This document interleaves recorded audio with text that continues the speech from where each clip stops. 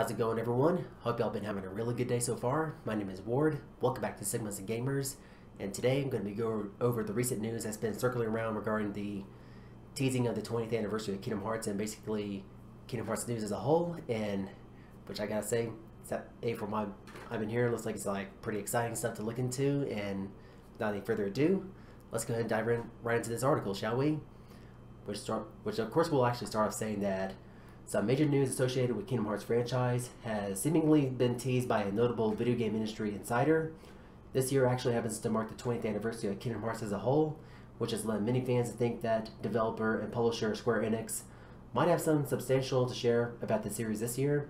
And while it remains to be seen in what such an announcement might be, it looks like we won't have to wait very long to find out. Gotta say, really good news.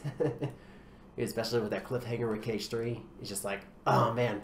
And I can't wait to see what's, what's going to happen, all that. so, in a recent message on Twitter, a video game reporter, Jeff Grubb, gave an outline of what sort of announcement fans can expect to see in the first few months of 2022.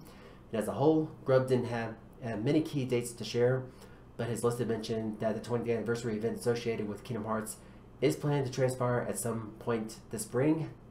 Pretty exciting stuff. Further details on what this event in question might involve were not given, but it seems likely that Square Enix will give fans an idea of where the series could be heading in the future. so let's go ahead and go to go on to Twitter and see what he has to say. So here's Jessica's Game Mess uh, Game Mess presents a 2022 Summer Game Mess Nightmare in January. so this is what he has. So January 27, we got Elder Scrolls Online, Eye the Dice, Ice Game Developer Conference, and then May the 4th be with you. and, and then Star Wars stuff, and then this spring is going to be the 20th anniversary for Kingdom Hearts, and also we're and it looks like also we're going to get Kingdom Hearts new news at this during the spring, but we're also going to be getting some news on the upcoming Final Fantasy game that's going to be coming out on PS5, and so we got E3 obviously, and then Gamescom later in August in Germany.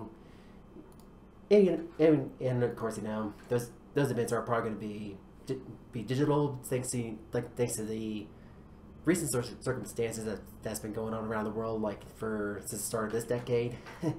And so be doing you know all that stuff so. So basically yeah, that's a, I guess that's what we're going to be getting so far and then so the article continues saying that KH3 the most recent entry in this franchise launched all the way back in 2019 meaning meaning that it has been quite long a long time since we heard anything about the future of Kingdom Hearts. Personally, for me, 2019 kind of still feels like it was yesterday. You know, it was three years, but still, it kind of feels like it was yesterday. so while Kingdom Hearts 3 marked the end of the Dark Seeker saga in the series, the game's conclusion also made it very clear that Square Enix plans to continue this franchise moving forward.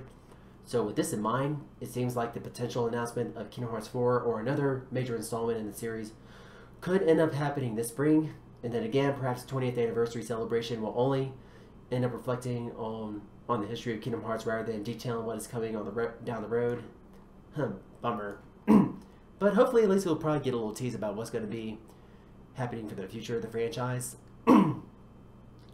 so, so yeah, that's going to be it for for this article, guys. And gotta say, very very interesting, yeah, very fascinating stuff, and just like you know, as somebody who's been a huge fan of the Kingdom Hearts franchise since the first, like way back in 2002, I gotta say this is actually, this actually has been getting me pumped a lot recently, and just, and I cannot wait to see what's gonna spring out, out, out around the corner. But oh well, by the way, no pun intended, but with the spring pun.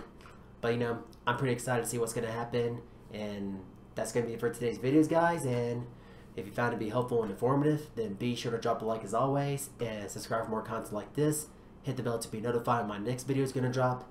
And if you have your own thoughts or opinions based on the recent news for the possibilities of what we're going to expect to see for the 20th anniversary of Kingdom Hearts, then go ahead and sign off in the comment section below, get a discussion going, and thank you so much for watching, and as always, we will catch you all in the next one.